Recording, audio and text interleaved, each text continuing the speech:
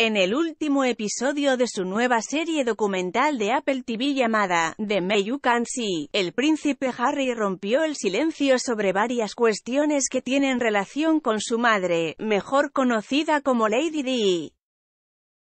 Por esta misma razón, reveló una intimidad de su familia que no tardó en recorrer las redes sociales y emocionar a todas las personas que siguen de cerca a la realeza británica.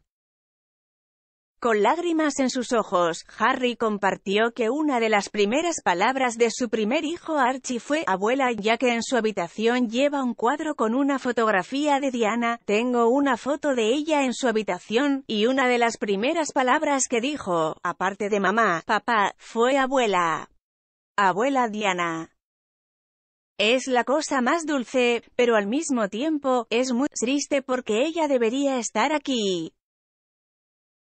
Por otro lado, el hijo del príncipe Carlos rompió el silencio sobre la peor etapa de su vida, admitiendo que a finales de los 20 y principios de los 30 años tomaba alcohol en exceso y también consumía estupefacientes.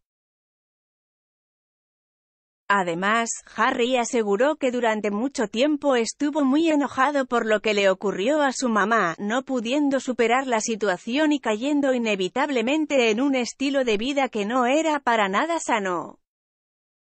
No quiero pensar en ella, porque si pienso en ella entonces va a surgir el hecho de que no puedo traerla de vuelta, y solo me va a poner triste.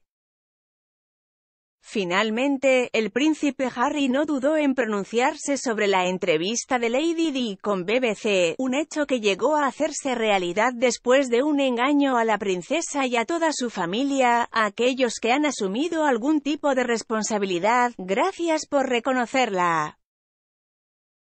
Ese es el primer paso hacia la justicia y la verdad. Nuestra madre perdió la vida a causa de esto y nada ha cambiado. Al proteger su legado, protegemos a todos y defendemos la dignidad con la que vivió su vida. Recordemos quién era y qué defendió.